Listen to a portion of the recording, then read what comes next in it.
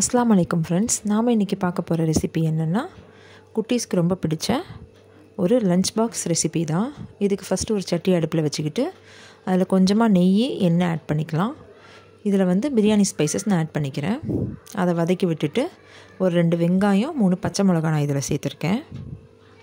அதையும் நம்ம நல்லா வதக்கி விட்டுக்கலாம்.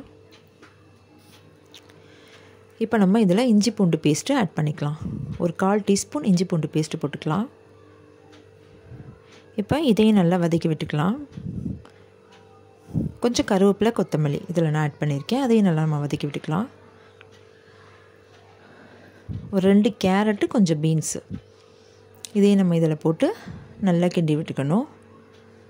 இதில் மசாலாஸ் என்னன்னு பார்த்தீங்கன்னா மஞ்சத்தூள் மிளகாத்தூள் ரெண்டே ஐட்டம் தான். மிளகாத்தூள் ரொம்ப கம்மியாக போட்டுக்கோங்க.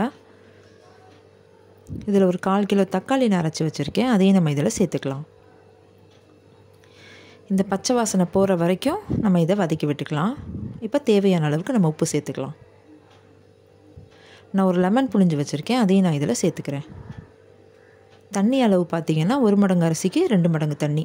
நான் ஹாஃப் கேஜி அரிசி ஊற வச்சுருக்கேன். தண்ணி கொதி வந்ததும் அந்த அரிசி அதில் நம்ம கொட்டிக்கலாம்.